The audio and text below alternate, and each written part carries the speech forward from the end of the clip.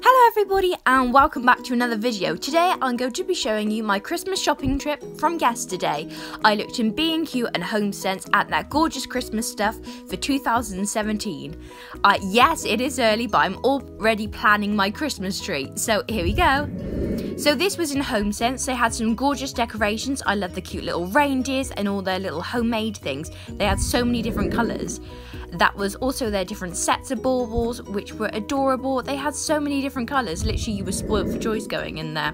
They had cute little uh, snow globes, everything. Literally, they even had like stuffed creatures like that mouse there, which I so nearly bought, and it was for a really good price as well.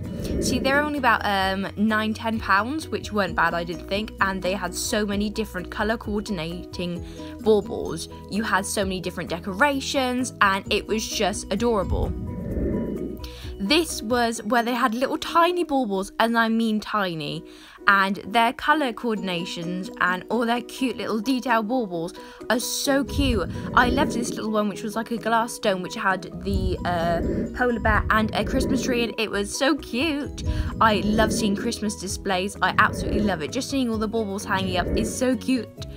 They had little Santas, and this was in B&Q where they had adorable little candle holders and all different like little plain baubles and more decorative ones.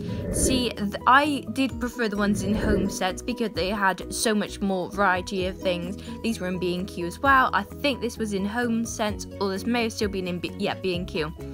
But uh, HomeSense is absolutely gorgeous for home decorations. I went in there purely for Christmas, and it was just so cute. This was in B&Q. I like the cute little penguin holding a little snowball, and they had a cute little glittery polar bear. But Home Sense, gorgeous Christmas stuff. I can't wait to go in there and go for a proper shopping trip as it was before work, I didn't really have enough time. This was also in B&Q. They had cute little bits and bobs in there, though the, those bottles were so gorgeous. I love those little cups as well. They had glittery succulents. Literally everything was just Christmassy.